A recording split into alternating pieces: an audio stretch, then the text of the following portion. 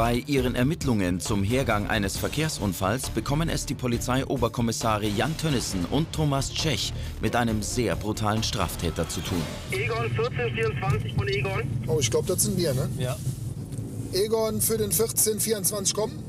Krefelder Straße vor der Hausnummer 42. Gemeldet VUP, RTW rollt, die Melderin ist vor Ort. Egon 1424 verstanden, Sonderwege, Rechte frei. Ja, trage ich so ein. Verstanden. Auf einer Kreuzung in Duisburg-Hamborn sind zwei Fahrzeuge kollidiert.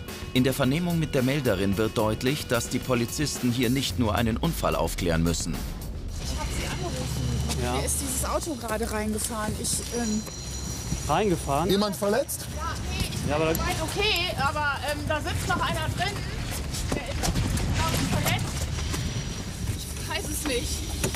Da war noch ein anderer, der ist abgehauen. Entschuldigung, Sie sind verletzt, ne? Sind Sie ansprechbar? Ja? Können Sie mich verstehen? Ich bin von der Polizei. Okay? Ja? Geht's anderer Ihnen soweit gut? Ja, da war noch einer. Ja. Ja? Ich bin Hebamme. Ich Ja. bin, bin auf dem Weg zu einer Patientin und ähm, der kam hier angerast. Ich habe noch versucht, da auszuweichen. Ähm, ich wollte sie benachrichtigen. Der äh, hat mich angepöbelt, hat, hat rumgeschrien, wollte die Polizei nicht Ja. rufen. Hat irgendwie eine Tasche genommen, ist abgehauen. Für die Suche nach dem Flüchtigen fordert Jan Tönnissen Verstärkung an. Der Beifahrer gibt an, den Fahrer nicht zu kennen. Auf weitere Nachfragen verweigert er die Antwort. Sein Verhalten wirft bei den Polizisten Fragen auf. Wie ist das denn mit der Dunkle Versicherung? Kleidung. Wer, wer kommt Das klären, wir, das klären wir gleich alles im Nachhinein. Wir müssen jetzt erstmal gucken, dass wir uns um die verletzte Person kümmern. Ja, klar. Und wir haben einen Flüchtigen wahrscheinlich, Flüchtigen, ne? sagt die Dame, Fahrer? sie, Ja. dunkle Kleidung, aber mehr Dunkle äh, Kleidung, so schnell, dunkle. Haare. Ja. Ähm, der hat, weiß ich nicht, Mitte 30, vielleicht hat eine Tasche aus Ja. dem Auto genommen. Wie groß ungefähr? So groß So wie wir. Sie ungefähr, also Ja. normal groß war der. Dass der Autofahrer mit einer Tasche geflohen ist, kommt den Polizisten sehr verdächtig vor. Sie veranlassen deshalb sofort eine Überprüfung des Kennzeichens. Wenig später überschlagen sich die Ereignisse. Was mit ihm jetzt hier? Im Moment haben wir die Ja. Kopfplatzwunde, wir haben äh, Stiffneck angelegt vorsorglich. Ja. Hallo? Ähm, Schmerzen im Bein, aber ich mache jetzt gleich nochmal einen Bodycheck. den Augen hat der schon mal wieder so ein bisschen unter Schock oder so, ne? Ja, das kann sein. Ja. Wir gucken jetzt gleich Meinst du, mal. wir, wir können ihn nachher nochmal Ja, soweit verstanden, Egon. Hörst du mal gerade? Eine Sekunde nochmal, wir kommen mal auf euch zurück. Ja? Egon 1424 von Egon. Ja? Komm. Ja, das Auto ist gestohlen gemeldet von einem Herrn Bauer. Und zwar wurde das heute Vormittag in Bottrop entwendet. Ja, soweit verstanden. Wir klären hier jetzt noch weiter auf. Ich komme jetzt gleich auch mit einer Personenfahndung. Müssen wir uns das Auto mal angucken. Ja, Egon, so verstanden. Hier vorne liegt eine Waffe im Fußraum. Okay? Das ist was für euch. Guckst du mal bitte direkt nach. Mit hier vorne Ja, rein. ja, okay. Thomas Tschech ermittelt, dass es sich bei der sichergestellten Waffe um eine Gaspistole handelt. Auch davon will der Beifahrer nichts gewusst haben. Noch ehe sie ihr weiteres Vorgehen abklären, werden sie böse überrascht. Die hat irgendwie Kohle in der Hand, ne? Beim Anblick der Polizisten tritt die Frau sofort die Flucht an. Doch weit kommt sie nicht. Was machen Sie denn mit dem ganzen Geld? Ja, ich will mir ein Auto. Also ich muss so. meinen Mann bringen wegen Auto. Und da laufen Sie jetzt am helllichten Tag mit der ganzen Kohle über die Straße. Ja, Ja? ja sicher. Ich muss ja das äh, wegen Auto kaufen. Ja, und wo haben Sie das Geld jetzt her? Ja, das habe ich äh, bekommen. Ja, die Person, äh, die hatte einen ganzen Packen voller Geld mit, wie man hier unschwer erkennen kann. Und die teilte uns dann mit, dass sie mit dem Geld irgendwie mit ihrem Mann und ein Autokauf und irgendwie sowas, also ziemlich wirres Zeug. Äh, Das machte für uns vorne und hinten keinen Sinn. Und auf näheres Befragen äh, stellte sich dann heraus, dass das Geld wohl dann äh, von ihr aufgefunden wurde. Ja, an, andere Leute haben sich das auch da vorne geholt. Wo? Andere Leute? Da an den Container. An was für einem Container? Ja, hier vorne an dem Container. So, na komm, wir gucken mal. Ja, Ja, bleiben Sie mal bei, bei dem Kollegen, ja. Noch ist unklar, warum an dem Container Geld liegt und ob es einen Zusammenhang mit dem Unfall gibt. Zunächst müssen die Beamten deeskalierend eingreifen. Hey, Freundchen! Das ist mein Geld. Polizei! Hey, Freundchen! Polizei! Das ist mein Geld. Die Flasche weg! Sofort die Flasche ab weg! da! Nix. Weg auf Seite! Flasche weg! Sofort die Flasche weg! Weg! Kann mir gar nicht! Mann! Kann mir gar nicht! Die Polizisten vermuten, dass es sich bei dem aggressiven Mann um den flüchtigen Unfallverursacher handelt. Auch aus Gründen der Eigensicherung legen sie ihm Handschellen an. Bei der anschließenden Spurensicherung decken sie eine weitere brutale Straftat auf. Okay, was können Sie dazu sagen jetzt hier? Nicht viel. Meine, das Geld fliegt hier scheinbar irgendwie ja, vom richtig. Himmel, ne? Ich kam um die Ecke, bin auf dem Weg Prospekte verteilen und lag das Geld hier rum. Okay. Habe ich aufgehoben.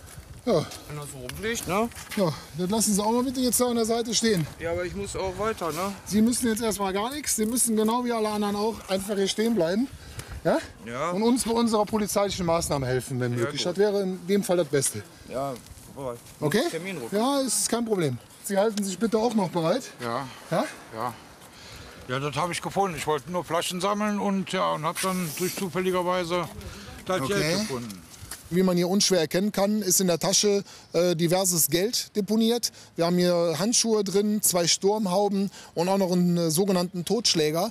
Das heißt also, da äh, deutet alles irgendwo auf eine Straftat hin, dass hier zumindest irgendwo die Vorbereitung einer Straftat oder sogar schon das Ausüben einer Straftat im Raum steht. Und deswegen habe ich da die Leitstelle noch mal angefunkt. Äh, Ich habe äh, heute Morgen einen Raubüberfall auf ein Taxiunternehmen in Bottrop. Äh, mitten im Totschläger ist da wohl agiert worden. Äh, das ist äh, zweifach schwere Körperverletzung, äh, sprich Raubüberfall auf ein Taxiunternehmen. Dabei wurde Geld erbeutet, äh, ungefähr 14.500 Euro. Und die Täter, wie gesagt, waren mit Schlagstock be bewaffnet und waren schwarz gekleidet mit Sturmmasken. Zwei Täter. Ja, Egon, verstanden. Das passt natürlich dann äh, absolut wie die Faust aufs Auge hier auf äh, unseren einen Verletzten, den wir haben und natürlich auch auf die Täterbeschreibung des zweiten Verletzten. Und alles andere deutet auch äh, mehr wie darauf hin, zudem auch der Wagen hier in Bottrop entwendet wurde. Insofern denke ich, haben wir hier zumindest schon mal einen Teil der Sache aufgelöst. Der Flüchtige streitet ab, in den Verkehrsunfall verwickelt gewesen zu sein. Nach Sicherstellung des erbeuteten Geldes veranlassen die Polizisten eine Gegenüberstellung mit der Unfallgegnerin. Schauen Sie mal. Ist das der Herr von vorhin? Ja, das ist der. Das ist Das doch die ist der? Tasche, auf jeden Fall. Der hat, Okay, der hat mich angeschrieben. Ja, außer irgendwelche Beleidigungen und Beschimpfungen äh, konnte der nicht viel abrufen, jedenfalls nichts abrufen, was für uns interessant gewesen wäre. Ist ein gutes Recht, sicherlich kann er machen. Ähm, ist aber nicht gut für sein eigenes Konto. Das wird ja alles von uns dann halt äh, dokumentiert und dann wird es hinterher vielleicht vom Richter ein bisschen übler werden, als es sonst gewesen wäre. Okay. Ja, der Brenner sagt nach wie vor, dass er nicht weiß, wie die Pistole in den Beifahrerraum gekommen ist. Und äh, des Weiteren, er ist per Anhalter eingesammelt worden von dem Verdächtigen und sonst hat er keine weiteren Auskünfte. Ja, ich meine, ist ja sein gutes Recht. Nichtsdestotrotz äh, weise ich darauf hin, dass Sie hier dringend tatverdächtig sind, ja, an einem Raubüberfall mitgewirkt zu haben. Ja. Und insofern sind Sie auf jeden Fall, was das angeht, erstmal auch vorläufig festgenommen. Sie können natürlich mit der Ko Polizei kooperieren. Ja. Es wird Ihnen mit Sicherheit zugutekommen, aber wie gesagt, Sie müssen nichts dazu sagen. Okay? Haben Sie das soweit verstanden? Okay, gut. Dann sind wir hier soweit erstmal durch. Ich bleib bei ihm. Alles klar. Ja, super. Okay. Ja, und den anderen, mit denen werden wir uns dann, ne? Ja. Wir haben jetzt ein bisschen was zu schreiben, Kollege. Aber da bleibt er nicht aus. Ja. Ne? Alles klar. Die weiteren Ermittlungen zeigen, dass der Flüchtige die Beute vor der Polizei verstecken wollte. Bei seiner geplanten Rückkehr zum Unfallort war die Polizei schon vor Ort. Er machte kehrt und ertappte die beiden Männer mit dem gestohlenen Geld. Für uns geht der ganze Vorgang jetzt so zu Ende, indem wir jetzt hier dementsprechend zwei Abschleppwagen bestellen, weil beide Fahrzeuge sind nicht mehr fahrbereit, also nicht mehr verkehrstauglich. Das Fahrzeug wird sichergestellt, das genauso, weil es dementsprechend mit der Tat auch zu tun hatte. Ja? Und alles Weitere wird dann die kriminaltechnische Untersuchung ergeben. Und äh, wir werden jetzt hier dementsprechend Verkehrsunfall mit Verkehrsunfallflucht schreiben, werden uns dann auch nochmal mit den Kollegen in Bottrop kurz schließen, weil die haben da schließlich einen schweren Raubüberfall zu verzeichnen, für den sie dann auch wiederum was schreiben. Und da werden wir dementsprechend kommunizieren. Die beiden Täter müssen sich für Raub in Tateinheit mit gefährlicher Körperverletzung, Kfz-Diebstahl und Verstoß gegen das Waffengesetz verantworten. Der Flüchtige erhält außerdem eine Anzeige wegen Unfallflucht. Der Haftrichter ordnet für beide Untersuchungshaft an. Die drei Geldeinsammler werden wegen Unterschlagung belangt.